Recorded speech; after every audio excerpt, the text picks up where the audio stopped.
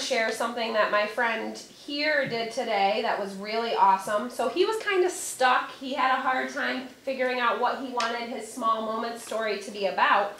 So when I sat down with him, I said, What was something that happened this morning that we could zoom into? And he started to write a story about. Do you want to share what your story was about? Uh, one day the fire. Yeah, so he's writing a small moment story about the time that the fire trucks came, okay?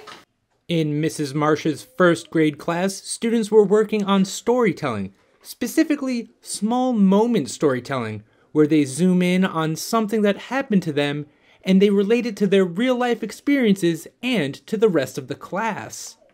That's my one of my favorite parts about being a first grade teacher are those aha moments and when they're able to work through the times when they're struggling and um, persevere and come out with uh, writing a piece that could be difficult for them at times. What other letter makes that sound that it could be under? If it's not under K. Fine C. And came. I see it. What letter do you hear first? So what would house start with? Look on your H and see if you can find house. I see it. And happy. What do you hear? What's that last sound? Oh, do you hear a bu and happy? Happy. What do you hear at the end? Happy. H and B. Happy.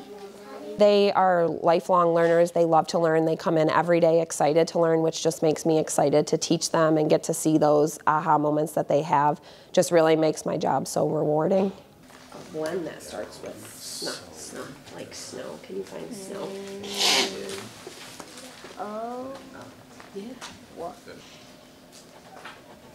So what do you hear next? Snuff. Oh. What makes the O sound? So what would come next? One snowy day.